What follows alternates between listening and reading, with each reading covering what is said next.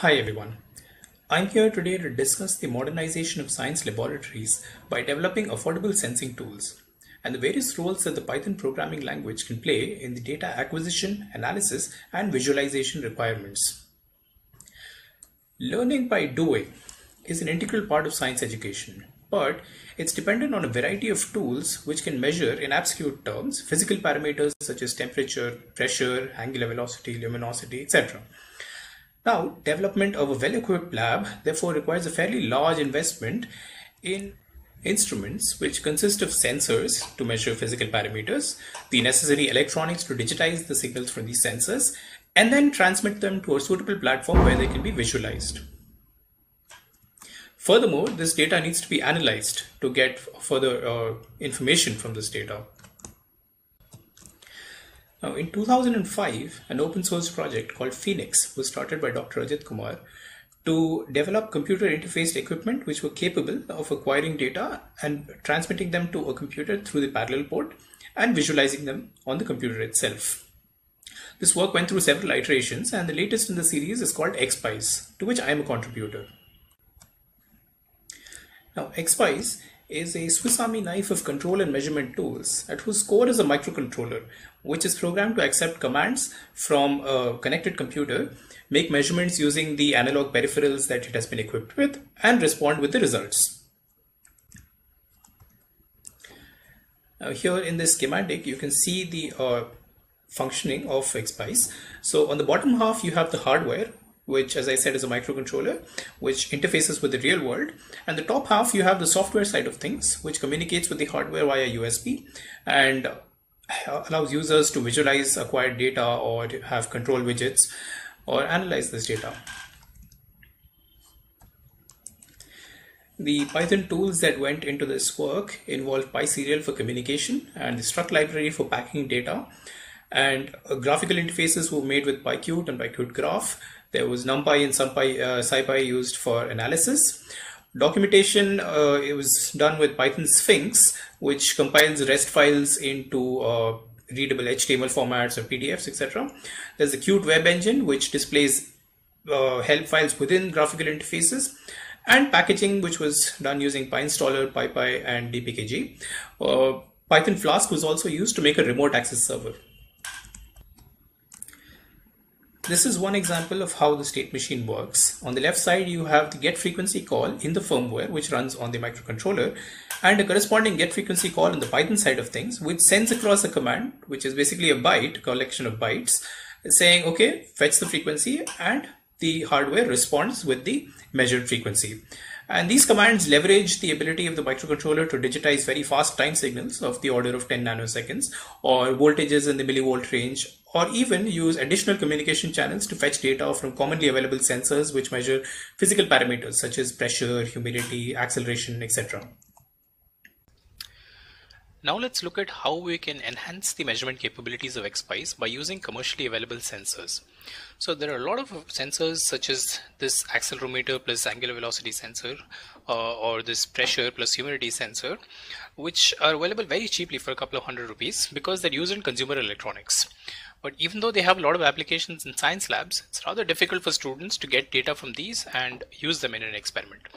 So ExpEYES can help there because all the coding part is already covered in Python and all that the students need to do is to plug it in and then use the I2C modules UI, scan for the connected sensor and here. So this sensor measures pressure, temperature and humidity. So it's fit for a thermodynamics lab and here you see that the pressure is 978.9 millibars. That's the atmospheric pressure in Delhi. This is temperature and this is the relative humidity which is high because it's been raining outside. And you also have a data logger where you can visualize changes variations in these parameters. So here for example if I have pressure um, you've probably been taught in high school that as you move into the hill stations uh, the atmospheric pressure goes down. And you can demonstrate this here itself because if I raise the eye to this sensor it's so incredibly sensitive that you can see the atmospheric pressure has fallen or if I lower this the atmospheric pressure goes up now similarly another thing that students uh, teachers demonstrate in class is that when you breathe out, the air is humid. So that can be easily uh, measured with this. There you can see that the humidity goes up. Now let's try out a different sensor.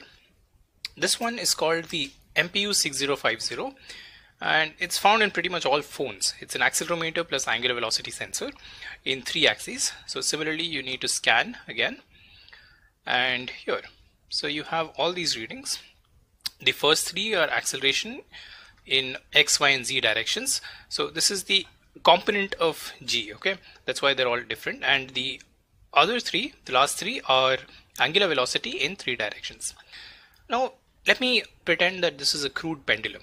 Okay, so I have this pendulum here and I want to find out what is the period of oscillations. So all that I need to do is that I can use the data logger and you can see that the behavior is sinusoidal in nature and it's also being damped. Let me pause this, get a few good cycles of this and use SciPy's regression uh, capabilities to apply a damped sine fit and now you can see here that the frequency of oscillations is about 2.686 Hertz which makes sense about twice a second.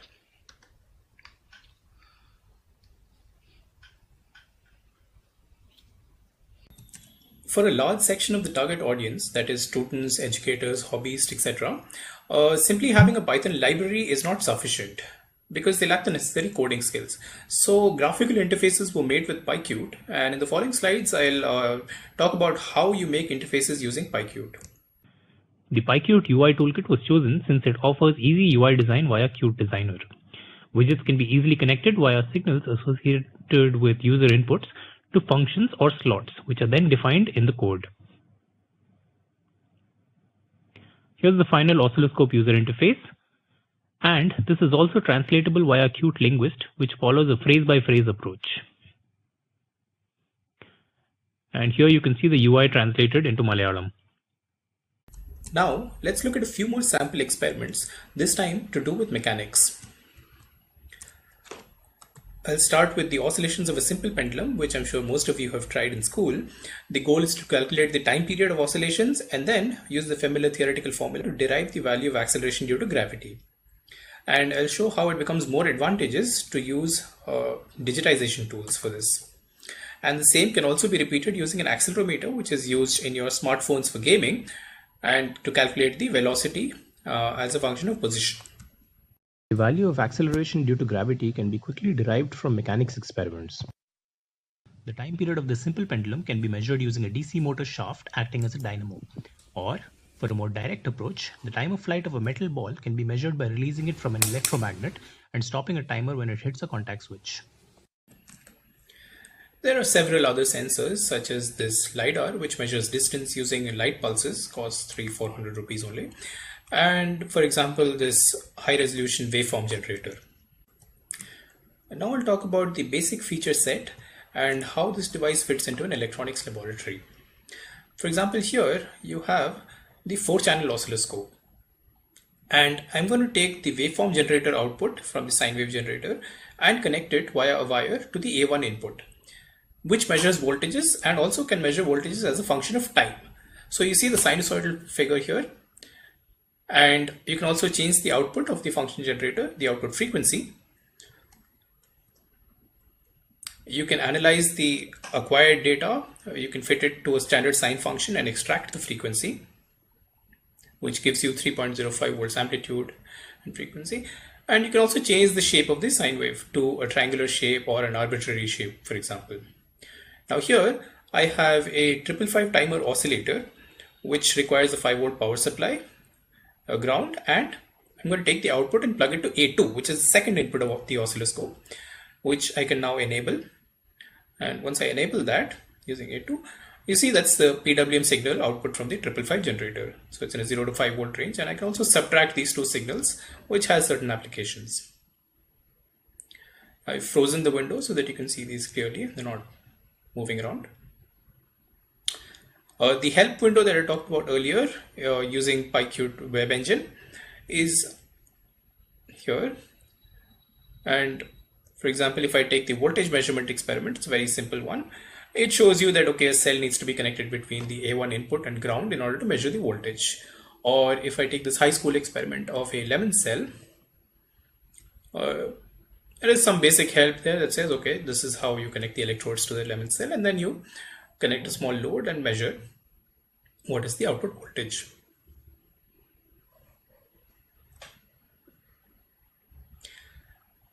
Now, I'm going to show you how Python code can be written to do the, what the graphical interface does. So let's capture a single waveform. When I say capture, I say, uh, I mean uh, the oscilloscope input.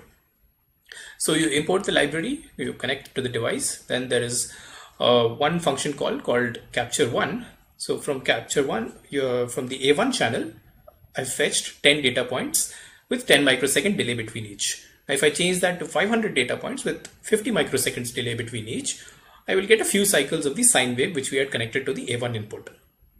Now I use Pylab to plot this data and to show it. Uh, I can also show you how to uh, generate an arbitrary waveform.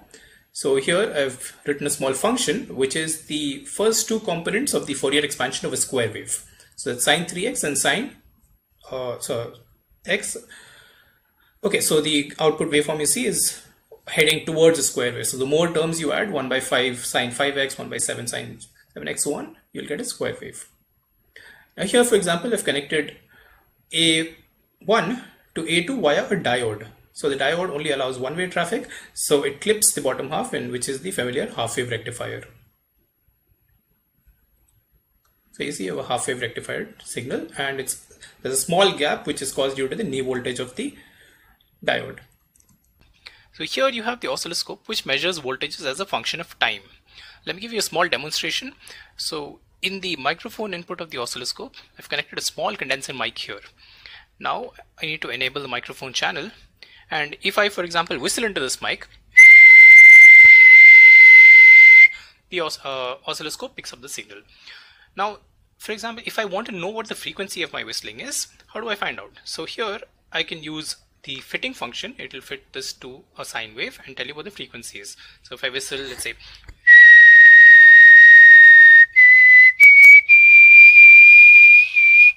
so you can see that frequency can be extracted in this manner. Now, the oscilloscope can also be used to clarify some rather confusing mathematical concepts such as this Fourier transform. Let me give you a demonstration again. So I'm going to whistle and take a Fourier transform of the whistling sound. So the resultant plot here is a single peak at about 2242 Hertz. Fair enough. Now, what happens if I combine two signals? For that, I have this buzzer connected here. It's a piezo buzzer, which is connected to the waveform generator. So if I set the frequency to about its resonant frequency, it will be pretty loud. So its resonance is about at 3000 hertz. So it's pretty loud. Now, to find out the frequency, I can again fit it and say, okay, frequency is 2800, which is what we set here. Now, if I combine two signals with this, I, I whistle at the same time. Let's see what happens. So the resultant waveform is rather confusing and you can't use sine fitting. But a Fourier transform can simply pull out both. Let me see here I'm going to set one signal whistle at the same time and take a Fourier transform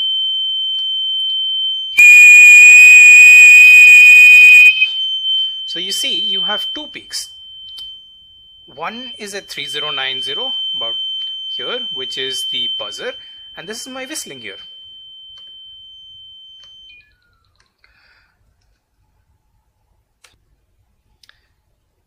okay so like I told you earlier, uh, the loudness of this buzzer is a function of frequency. Now what if I want to find out where is this loudest? So I need to sweep the entire frequency region and then find out the amplitude at each point. So for that we have the advanced data logger which allows you to measure one parameter as a function of another. So I'm going to choose the x parameter to be the frequency of the waveform generator which is applied to the buzzer. So let's go from 1000 hertz to 5000 hertz. Now the y parameter is what we're going to measure. We want to measure the amplitude of this, uh, the loud, uh, the sound that the buzzer makes. So for that you need the oscilloscope. In the oscilloscope you're going to pick out the microphone channel and So you can see that the microphone channel is um, recording the mic and you take about a few cycles of uh, yeah, of the signal and you are interested in the amplitude. So that the amplitude can go up to 3 volts confirm. I'm going to set a time interval of about 100 milliseconds between each data point. Take a 100 millisecond settling delay and take about 200 data points. And then I'm going to simply log data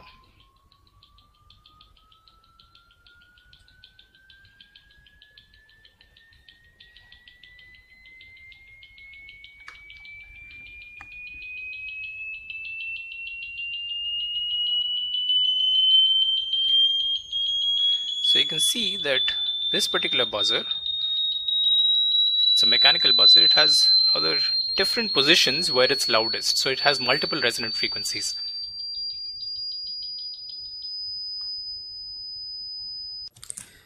We saw earlier during the Fourier series demo that you can make square wave by combining sine waves. And the converse is also true. If you excite this buzzer in this experiment using a square wave, what happens is that the buzzer picks up the closest component of the Fourier expansion.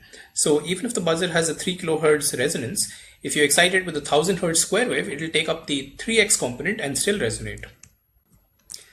And to confirm that this is the case, you can track the recorded frequency as a function of the applied frequency. So you can see that the recorded frequency is always along the lines of either 3x of the applied frequency or 5x or the fundamental or 7x. With this flexible approach to science labs, students can create their own experiments. For example, here you have standing waves being created inside a box using a buzzer and a reflecting surface, and a microphone is dragged along this to check the amplitudes at the nodes and antinodes. So you see its amplitude is going up and then down at various points. And if you found these experiments interesting, you should check out the blog page at csparkresearch.in, which has write-ups on a lot of fancy experiments. For example, here the velocity of sound and how it's calculated.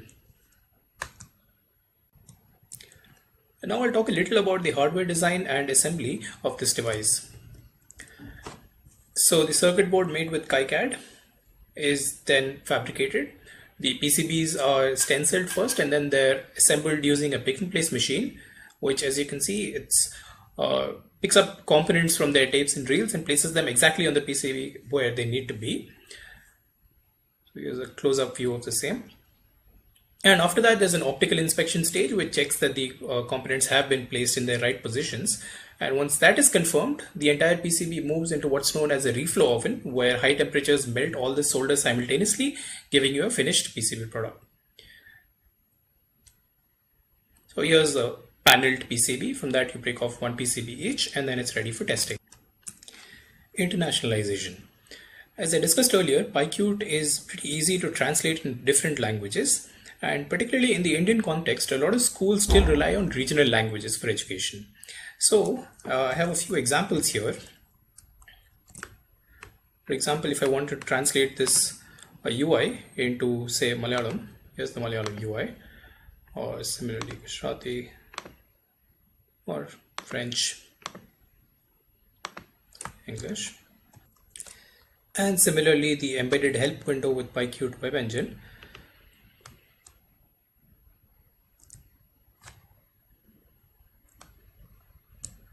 is also translated.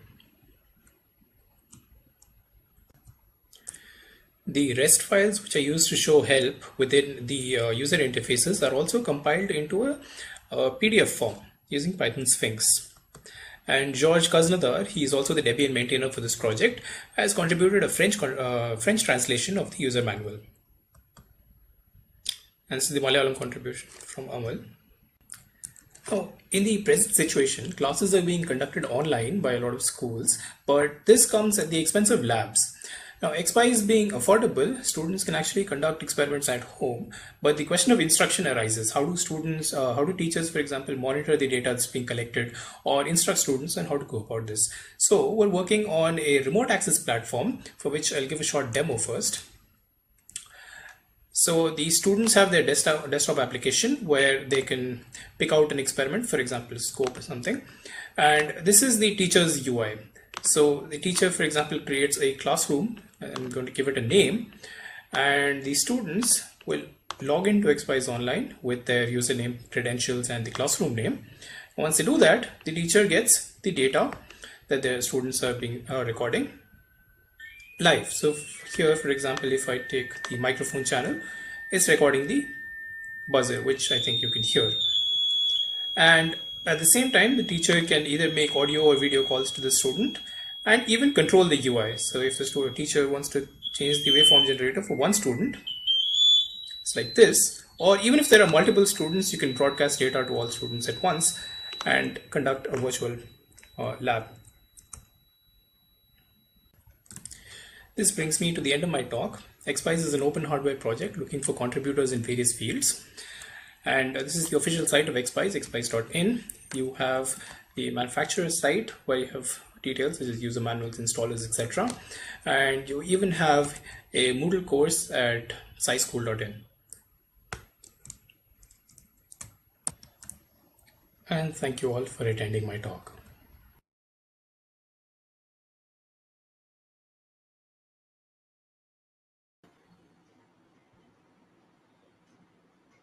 Nice to see the beautiful demos, I would say. So let's wait for some questions. Uh, there is one. Um, I will relay it to you.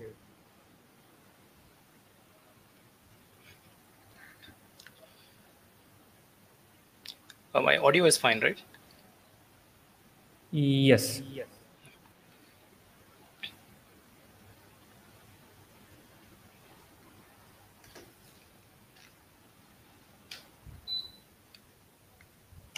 Okay, people are appreciating the demos. They liked it in the chat.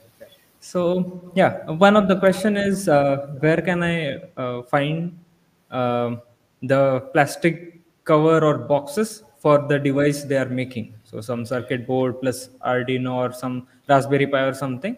What would be the best way to uh, mass produce it or something in India? Oh, to mass produce it, you need to approach someone who builds injection molded cases. So there will be an initial cost for building the mold. After that, the boxes will be cheaper. But if you're going for small volume, then maybe 3D printed cases or laser cutting. Uh, so you just take acrylic sheets and you get them laser cut. So you probably need to use Inkscape for exact dimensions. And if you build your PCB with KiCad, you can export as an SVG, take it to Inkscape, and then uh, that's good enough for laser cutting. All your connection holes, everything will come in, in the right spot.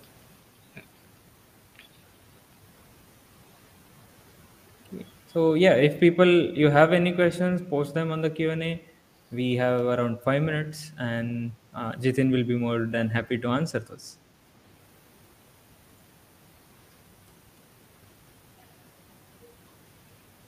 Yeah, I see a few in the Q and A. There's one regarding the IDEs. Okay, let me yeah let me get to that.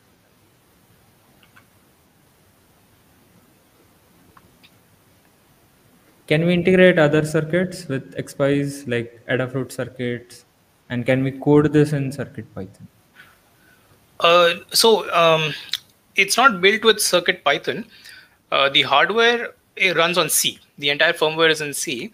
Uh, it's python that handles fetching data from the hardware and then uh, it takes care of all the ui uh, and analysis.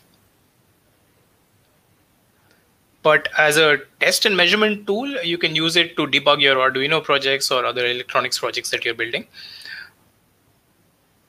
Uh, yeah, I think that answers it.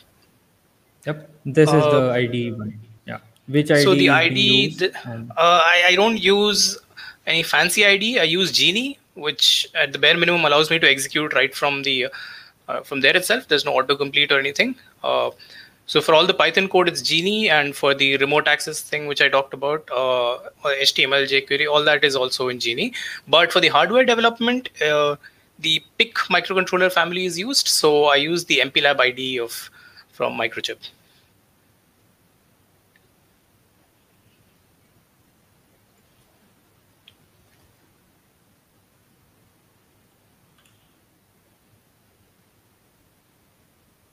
Where can we get ExpEYES for personal projects? Oh, so you can go to expeyes.in where you have a list of the vendors uh, that are actually distributing this.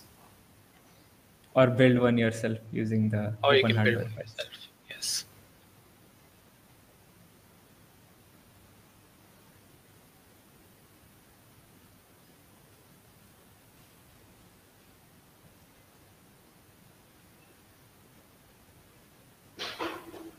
All right. Uh, let's wait for a minute and then.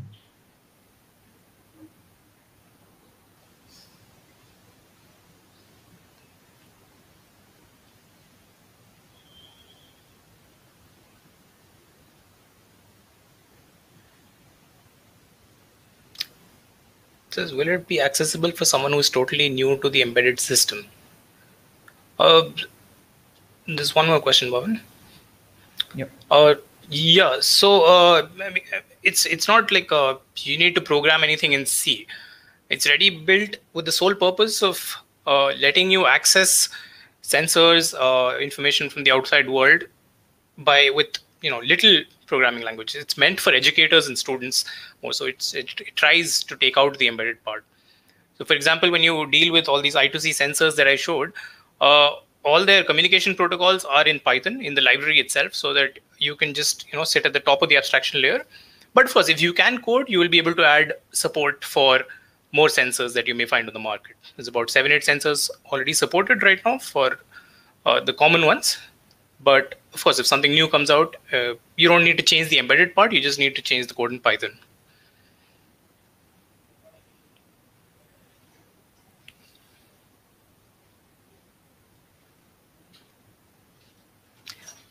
Again, it's uh, like I said, it's a there's an entire list at expeyes.in, or you can go to csparkresearch.in and just contact. There are several vendors across India and abroad.